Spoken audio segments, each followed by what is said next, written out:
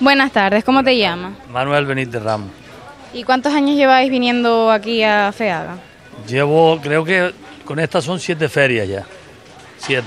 Llevo ocho años artesano, siete años creo que estoy. Sí. ¿Y mm, con qué trabajáis? ¿Qué son las cosas que hacéis? Sí.